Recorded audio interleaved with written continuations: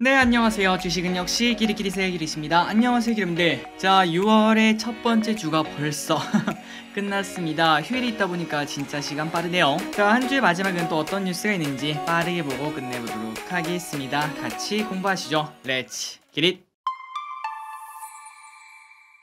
첫 번째 뉴스입니다. 목숨 건 이재용 네덜란드 출장길 오른다. ASML 방문 유력. 이재용 삼성전자 부회장이 6개월 만에 글로벌 현장 경영을 재개를 한다고 합니다. 유력하게 점쳐지는 출장지는 바로 글로벌 반도체 장비 업체 ASML인데요. 재계에서는 이 부회장이 ASML을 방문해 반도체 미세 공정에 필수적인 ASML의 EUV 노광 장비 공급에 관해 논의할 것으로 예상을 한다고 합니다. 아마도 반도체 투자신 분들은 다들 알고 계실 거라고 생각합니다. ASML은 는 EUV 노광 장비를 독점 생산하고 있는데요. 삼성전자 입장에서는 이 장비가 무조건 필요한 상황이라고 합니다. 그 이유가 뭔가 봤더니 실제로 파운드리 1위 TSMC는 EUV 장비를 무려 100대 넘게 확보한 반면 그런데 삼성전자는 10대 정도밖에 없다고 합니다. 그러니까 소위 말해 장비빨에서 밀릴 수밖에 없다는 거겠죠. 그래서 이번 출장에 조금 좋은 소식이 전해지지 않겠나 이런 생각을 해볼 수 있고 그리고 특히 이번 출장은 이 부회장이 반년 만에 글로벌 현장 경영을 재겠다는 점에서 의미가 크다는 평가가 나온다고 합니다. 합니다. 지금 현재 이 부회장은 재판 때문에 어디 나가지를 못하는 상황이라고 하죠. 지난해 말 단 나흘간의 중동 출장을 마친 이후 재판 일정 등에 발목이 잡혀 글로벌 행보를 현재까지 이어나가지 못하고 있다고 합니다. 그런데 그 와중에 반년 만의 출장 의미가 없다고 볼 수 없겠죠. 다음 소식을 보도록 하겠습니다. 두려움 타고 오르는 증시 6월 FOMC 고용 물가 주목 자 아마도 기름들 느끼고 계실 거라고 생각합니다. 증시가 조금 불안불안한데 그 와중에 슬금슬금 오르고 있죠. 말 그대로 두려움을 타고 오르는 증시라고 볼 수 있을 것 같은데요. 그렇다면 우리에게 가장 중요한 거는 이 상승이 계속 이어지니 많이 이건데 그렇다면 6월에 과연 어떤 이벤트를 관심 있게 봐야지 이거를 알 수 있는지 보도록 하겠습니다. 딱 세 가지가 있다고 하네요. 최근 주가는 두려움의 벽을 타고 오른다는 월가의 격언처럼 미국 증시가 서서히 반등세를 보이고 있다는 평가를 받는다고 합니다. 이에 문남중 대신 신증권 연구원은 3일 6월 증시가 반등을 이어가기 위해서는 세 가지 허들을 잘 넘어야 된다며 5월 고용지표 그리고 5월 소비자 물가지수 마지막으로 열흘 정도 뒤에 있을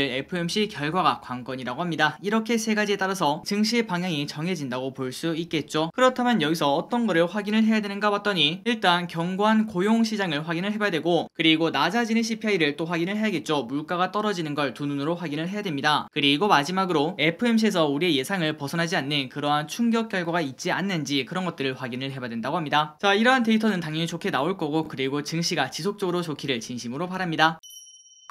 다음입니다. 우리나라 주식에 관련된 뉴스 세 가지 아니 네 가지를 연속적으로 빠르게 보도록 할게요. 첫 번째, 라면 수출이 사상 최대를 찍고 있다는 소식입니다. 삼양식품 10만원 척근 삼양식품이 5월 라면 수출이 사상 최고치를 기록했다는 소식에 상승세를 타고 있습니다. 삼양식품은 국내 라면 수출액의 60%를 차지하고 있는 회사인데요. 지난 2일 관세청이 공개한 무역 통계 자료에 따르면 5월 라면 수출은 전년 대비 50% 증가한 7,597만 달러, 한화야 951억 원으로 월간 최 최고 기록을 경신을 했다고 합니다. 그러니까 K라면이 전 세계에 퍼지고 있다는 소리겠죠. 그런데 최근에 조금 악재가 있었습니다. 특히 중국의 상하이 봉쇄 등으로 4월 라면 수출액이 급감한 바 있었는데 그런데 5월 들어 이를 만회하는 실적을 나타냈다고 합니다. 갑자기 중국에서 봉쇄 때문에 사재기라도 한 걸까요? 게다가 중국을 제외한 미국 등 수출액 역시 5,419만 달러로 견조한 흐름을 유지를 하고 있다고 합니다. 그리고 유진투자증권 연구원은 이렇게 말했습니다. 올해 라면 생산량이 기존 대비 50 40%나 증가할 것이라고 말했다고 한데 그 말인즉슨 수요만 지속적으로 나온다면은 라면 업계 매출액이 쭉쭉 성장하는 걸 우리가 두 눈으로 볼 수 있다는 거겠죠. 우리가 지속적으로 공부다시피 음식료 관련주는 추가적인 상승을 충분히 기대할 수 있다. 이러한 생각을 같이 공유를 했었습니다. 그 와중에 라면까지 잘 팔린다. 이거는 좋은 소식이라고 볼 수 있겠죠. 과연 실적이 우리의 기대치만큼 나올지 그런 것들을 한번 파악해 보시면 좋을 것 같습니다. 다음입니다. 오늘은 건설기계 관련주가 쭉쭉 오르고 있습니다. 이렇게 오르는 거 보니까 또 우크라에서 무슨 소식 소식이 나왔나 이런 생각을 해볼 수 있는데요. 그런데 그게 맞다고 하네요. 우크라 차관 방한 앞두고 서암기계공업 해인 강세 3일 국내 증시에서 우크라 재건주가 현재 강세를 나타내고 있습니다. 방한을 앞둔 우크라이나 외교 차관이 한국 기업 등을 방문해 재건 관련 논의를 할 것으로 알려지면서 기대감이 반영된 것으로 풀이가 된다고 한데요. 이에 여러 가지 기업들이 있겠죠. 서암기계공업 현대중공업, 해인, 데모, 현대 에버다임 등등등 그리고 우리가 지난번에 조금 더 깊게 다뤄봤던 현대 건설기계 이러한 기업들이 좋은 흐름을 나타내고 있다고 합니다. 그렇다면 갑자기 우크라 차관이 오는 이유가 뭔가 봤더니 외교부에 따르면 드미트로 세니 우크라이나 외교 차관이 오는 6일부터 8일에 한국에 방문할 예정이며 그리고 그는 방한 기간 동안 한국 기업도 방문해 재건 관련 논의를 할 것으로 알려졌다고 합니다. 다만 기분들 이런 기업에 투자할 때는 이제 종목을 딱 보면은 실적이 찍히는 기업이 있고 그 다음에 살짝은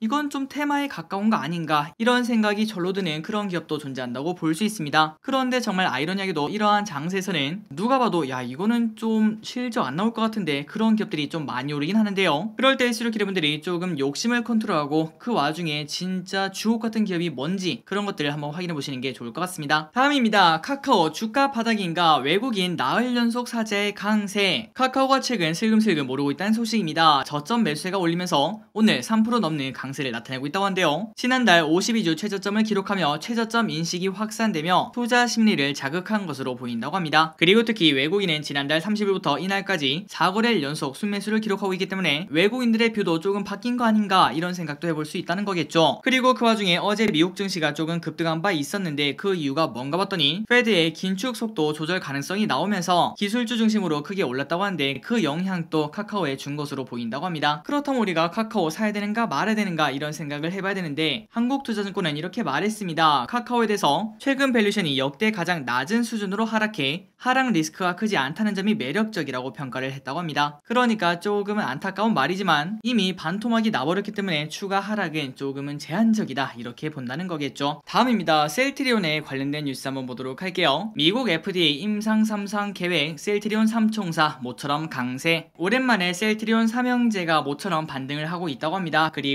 그 이유는 지난 2일 미국 FDA의 자사 류머티즘 관절염 바이오시밀러 CT P47의 임상 3상 시험 계획을 제출했다 이러한 소식이 나왔다고 한데요. 그리고 셀트리온의 CT P47이 뭔가 봤더니 스위스 제약사 로쉬의 류머티즘 관절염 치료용 전문 의약품 악템라의 바이오시밀러라고 합니다. 그리고 이번 임상은 내년 하반기까지 이어진다고 한데요. 그러니까 1년 반이란 시간은 조금 길다고 볼 수 있겠지만 그러나 벌써부터 그 기대감이 조금씩 반영이 되고 있다고 합니다. 꼭 좋은 결과 있었으면 좋겠네요. 다음입니다. 조금은 안 좋은 소식 두 가지를 이어서 보도록 하겠습니다. 일경 운용 블랙록 회장 Fed 해결책 없어 인플레 수년간 지속될 것 세계 최대 자산 운용사 블랙록의 레리 핑크 회장 겸 CEO가 글로벌 공급망 불안으로 향후 수년간 인플레가 이어질 것이라고 말했다고 합니다. 그러니까 인플레는 잡히는 게 아니라 우리랑 함께 있는 거라는 거겠죠. 핑크 회장은 인터뷰에서 코로나19와 세계 여러 지역의 폐쇄로 상황이 악화되었다며 공급이 문제를 더 주도하고 있다고 설명을 했다고 합니다. 그리고 또한 Fed는 경제 전반에 걸친 공급 문제를 해결할 수 있는 도구를 가지고 있지 않다며 시장 변동 유동성은 계속될 것이라고 관측을 했고 그리고 이어 경제가 친환경 에너지원으로 전환함에 따라 물가 상승은 또 이어질 것이라고 덧붙였다고 합니다. 그리고 이어서 우리나라 한국은행 총재 이창용 한국은행 총재의 말을 한번 보도록 하겠습니다. 인플레 진정 후 장기 불안 가능성 배제 못해 이창용 한국은행 총재가 2일 이번 인플레이션이 진정되었을 때 선진국을 위시해 한국, 태국, 중국 등 인구 고령화 문제에 직면한 일부 신흥국에서 저물가와 저성장 환경이 도래할 가능성을 배제할 수 없다라고 밝혔습니다. 그러니까 이제 인플레가 지금 현재 문 문제인데 만약에 이 인플레가 꺾이더라도 그 다음에 또 장기 불황이 나타날 수 있다는 거겠죠. 고로 우리가 지속적으로 공부했다시피 경기 침체 가능성은 계속적으로 우리가 열어놔야 될 것 같습니다. 다음입니다. 방금 전에 봤다시피 그러한 불확실성이 많다고 하는데요. 그런데 이 와중에 채권이 주식 대비 매력이 높다는 이야기가 나온다고 합니다. 한번 내용을 확인해 보도록 할게요. 올해 상반기 원자재를 제외한 대부분의 자산 가격이 하락하면서 주식 대비 채권 매력이 높아졌다는 분석이 나온다고 합니다. NH투자증권은 상반기 자산 성과는 원자재를 제외한 대부분의 자산 가격이 하락해 흡사 1970년과 유사한 모습을 연출했다며 물가는 천천히 하락하며 당분간 높은 수준을 유지할 전망으로 인플레이션에 따른 실질소득 감소와 중국의 제로 코로나 정책으로 하반기 경기 모멘텀은 둔화 국면으로 짚었다고 합니다. 그러니까 NH투자증권이 지금 현재 봤을 때는 물가는 잡히긴 하겠지만 그런데 조금 오래 위에서 머물 거라고 생각을 해볼 수 있다고 하고 그리고 그 와중에 하반기 경기 모멘텀은 둔화가 될 것이라고 짚었다고 합니다. 그래서 결국은 하반기는 금융시장의 초점이 지금 현재는 인플레이션에 완전 관심이 집중되어 있지만 하지만 이 인플레가 조금씩 잡히는 걸 보면서 아 이제 인플레도 거의 끝났네 악재 소멸이다 이러한 이야기를 할 수 있다고 한데요. 그런데 중요한 중요 한 거는 그때부터는 새로운 악재가 다시 또 태어난다고 합니다. 그렇다면 그 악재가 뭔가 봤더니 바로 경기, 경기 침체라고 볼 수 있겠죠. 고로 이에 따라 주식과 채권 상관관계가 낮아지고 자산 배분 효과도 살아날 전망이라며 향후 채권 대비 주식의 초과 성과는 낮아질 것이라고 설명을 했다고 합니다. 그 말인즉슨 우리의 돈을 조금 빼서 채권에 투자할 만한 이유가 있지 않겠나 이렇게 본다는 거겠죠. 채권 투자에 대해서는 꼭 우리가 공부할 필요가 있다고 생각합니다. 꼭 머지않아 채권 어떻게 투자하는지 어떻게 투자하는 게 가장 좋은 건지 그런 것들을 공부해서 기분들께 알려드리도록 하겠습니다. 다음입니다. 최근 들어 건설주가 재미가 없습니다. 그런데 어떤 전망이 나오는지 한번 보도록 할게요. 상승장에서 소외된 건설주 선거 뒤에 탄력 받을까 증권가는 사라 대선 후 정책 수의 영순위로 평가받은 건설주가 지지부진하다는 소식이 나왔습니다. 지방선거가 끝나면서 소위 말하는 정치 불확실성이 끝났다고 볼 수 있는데요. 하지만 이러한 불확실성이 해소가 되었는데도 불구하고 주간에 하락을 했다는 소식입니다. 그래서 증권가에서는 분양가 상한제 개선이 발표되고 신도시 정비계획 윤곽이 드러나는 하반기에 주목할 것을 권했다고 합니다. 최근 건설주는 조금 상황이 안 좋습니다. 러시아와 우크라 사태에서 비롯된 원자재 가격 인상, 미국발 금리 인상 기조, 공정률 지연 등이 맞물리면서 비용 부담이 가중된 결과라고 한데 NH투자증권에 따르면 1월 증권사 전망치 기준 대형 건설사의 매출 증가율은 2%포인트 하락했고 그리고 원가율은 0.5%포인트 증가를 했다고 합니다. 그러니까 돈 또 못 버는데 원가는 또 올랐다는 소리겠죠. 하지만 이미 조정을 거의 1년 가까이 받고 있는 상황이고